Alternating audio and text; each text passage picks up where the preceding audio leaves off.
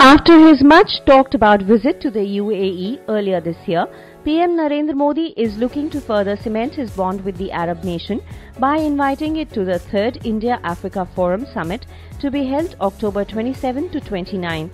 Another country close to Modi's heart, Singapore, is among the special invitees too for the summit, which will see the largest presence of foreign leaders on Indian soil in over 30 years.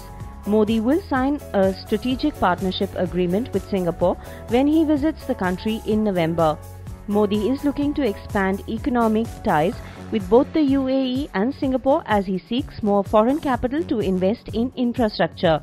One of the big takeaways from Modi's visit to the UAE in August, according to the government, was the decision by the UAE and India to together raise $75 billion for investment in railway, port and road projects in India.